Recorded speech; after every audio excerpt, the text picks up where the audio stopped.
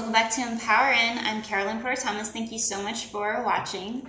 So today I have a video request from Andrea and Nessa Forever, and it says, "Can you make a video on being sensitive in the nursing field? How to be strong for your patients and avoid tears?" So I really like this video request because this is something that we definitely deal with on a daily basis, and it is really important to be strong for your patients. When I read this request, there's two specific things that come to mind. And the first thing is like the physical pain that we as nurses have to sometimes inflict upon our patients. When I was a new nurse and I had to start IVs on my patients, I had a really, really hard time focusing on what I was doing because I was actually so kind of like feeling the pain that the patient would be feeling. I was just kind of like putting myself in that person's um, place and imagining how much I was hurting them. And what that was doing was it was making me feel terrible and I wasn't able to focus on my job. So, one way that I dealt with that was I realized that, first of all, the way I was behaving was not helping anybody. It wasn't helping my patient get better. It wasn't helping them get the medic, you know, the necessary medications that they needed, and it was only making me feel bad too. So what I did was while I was doing these procedures that sometimes cause pain, instead of focusing on the needle going into the skin and then penetrating the vein and you know that was just a painful thought to me, what I did was I would focus on you know their kidneys needing the nutrition or the, their kidneys needing the fluid and needing to be flushed and rehydrated and, and things like that and so i would focus on the beneficial value that i was adding instead of the just short-term pain so it was kind of like thinking about things in long term. It's the same thing with Foley catheters, it's the same thing with wound care or doing other minor procedures that we have to do. We just have to think in the future and what's going to be best for the patient right then. I remember when I was working on a surgical unit, um, the surgeon came to me one day and he was like, you know, your patient hasn't gotten out of bed yet.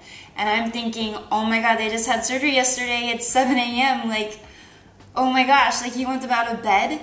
And I felt terrible. And I went in there and I was like, I'm really sorry. I have to tell you to get out of bed. You need to walk. The surgeon wants you to walk right now and I felt so bad. And now that I'm an experienced nurse, I know that the best thing for that patient to get better is to get up and get moving, to use that incentive spirometer, to just get that blood flowing. And so I am actually more passionate than ever to actually get my patients out of bed and to get them moving because I've seen the long term good effects that come from that. The second thing that comes to mind when I think about being strong for my patients and avoiding tears is sometimes the emotional situations that we will find ourselves in as nurses. Now, I work on an adult tele um, med surg floor, so for the most part, my patients are either not too sick at all, just coming in for, you know, maybe chest pain or a simple procedure, something like that, or they're chronically ill. So I don't really see a lot of very, very, very sick people you know, acutely ill.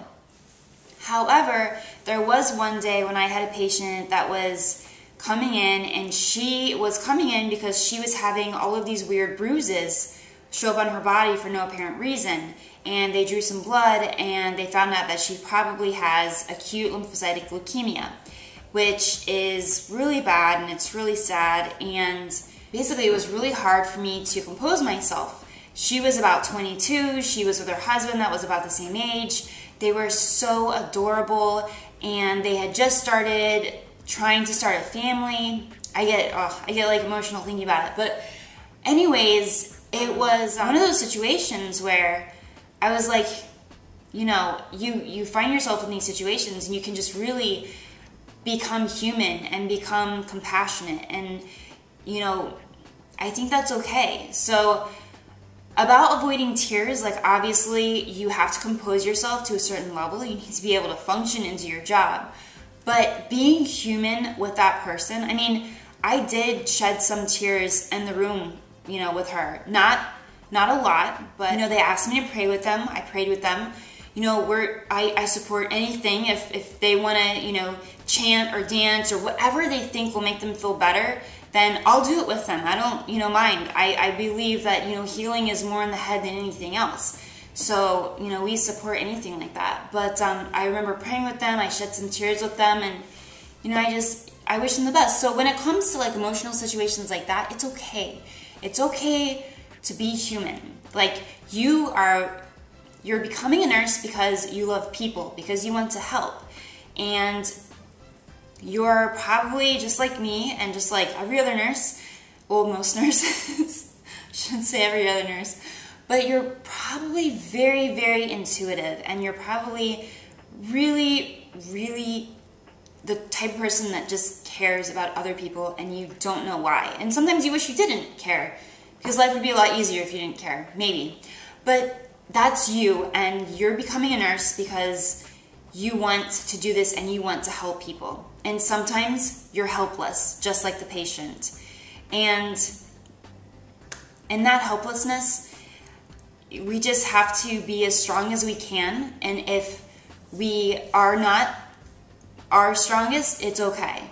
So I know that was kind of me just rambling, but um, I think that it's really important for us to know that we're going to find ourselves in situations that are going to be very difficult to deal with and you know you're never going to be 100% ready for that kind of situation but i think that you'll find that you're going to be a lot stronger than you think once you are there.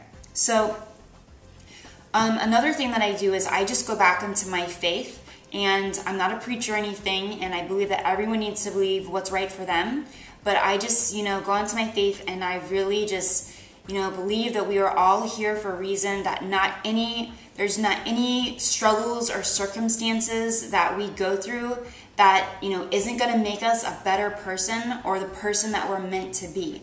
So even though some people go through very painful and emotionally painful diagnoses and diseases, I don't understand it.